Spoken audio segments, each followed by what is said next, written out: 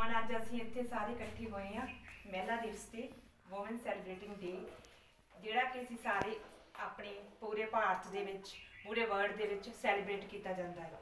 ਇਹ ਦਿਨ ਕੀ ਅਸੀਂ ਇਸ ਦਿਨ ਨੂੰ ਕਿਉਂ ਮਨਾਉਂਦੇ ਆ ਕਿਉਂ ਇਹ ਦਿਨ ਸੈਲੀਬ੍ਰੇਟ ਕੀਤਾ ਜਾਂਦਾ ਹੈ? ਇਹਦੀ ਕੀ ਵੈਲਿਊ ਆ? ਅੱਜ ਕੱਲ ਕੀ ਆ? ਸਾਡੇ ਸਮਾਜ ਦੇ ਵਿੱਚ ਜੋ ਧੀਆਂ ਦਾ ਪਹਿਲਾ ਦਰਜਾ ਸੀ, ਉਹਦੇ ਨਾਲ ਕਿਤੇ ਜ਼ਿਆਦਾ ਸੁਪੀਰੀਅਰ ਹੋ ਗਿਆ ਹੈ। ਅੱਜ ਕੱਲ ਬਹੁਤ 90% ਲੋਕ ਇਹ ਨੇ ਜਿਹੜੇ ਕਿ ਨਹੀਂ, ਧੀਆਂ ਪੁੱਤਾਂ ਨਾਲੋਂ ਵੀ ਅੱਗੇ ਹਨ।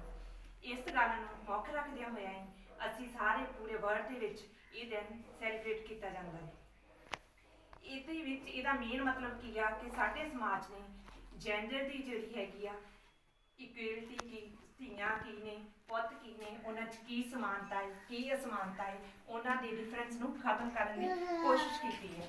ਸੋ ਇੱਥੇ ਅਸੀਂ ਸਾਰੇ ਭੈਣਾਂ ਅੱਜ ਇਕੱਠੀਆਂ ਹੋਣਾ ਹੈ ਇਸ ਦਿਨ ਨੂੰ ਸੈਲੀਬ੍ਰੇਟ ਕਰਨ ਲਈ। Thank you